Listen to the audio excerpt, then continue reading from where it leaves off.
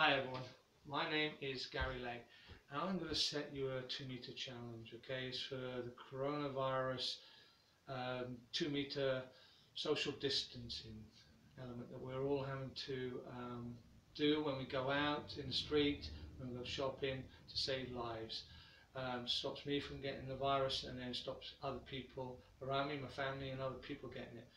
Um, I'm a golf professional, coach, tour player and my job means that I now I have to stay at home. I can't do it outside, it's not necessary. Um, but there are other people out there, their jobs are necessary for us and they're going every single day. They're facing that. They're having to go there and the virus might be there.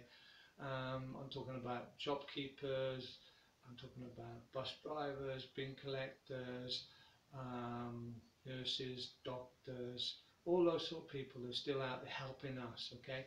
And I'm going to try and put a smile on their face, and by doing that, it's going to put a smile on my face, um, um, and it'll also show them that we appreciate them, what they're doing for us, okay?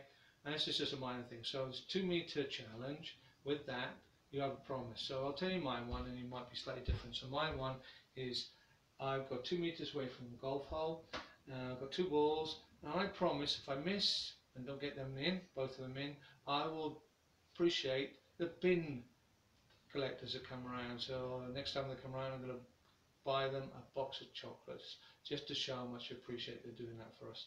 Other people, uh, you may um, say two meter for you is you've got, you're into uh, fruit and veg, so you say you peel an apple and that peel has to be over two meters long. If it doesn't, you've promised to, next time you go to greengrocers or the supermarket, um, you're going to actually go around and say thank you to all the people that work in that supermarket.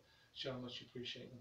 Another person to appreciate it may be they're into darts, they've got a dartboard two meters away, get double top. If you don't get double top, you've promised to donate five pounds to charity. So here we go, here's my one. Uh, for the bin collectors, if I don't get these in, they're going to get a box of chocolates next time they come around. There's one in, all the crowd are watching me and really nervous for this, keep your head still. In! Oh! Never mind, I will still say thank you to the bin collectors when they come around and I'll still buy them a box of chocolates. Bye for now, that's Gary Ley and I'd love to see all your challenges, all the different type of ones on YouTube. Thank you very much. Bye for now.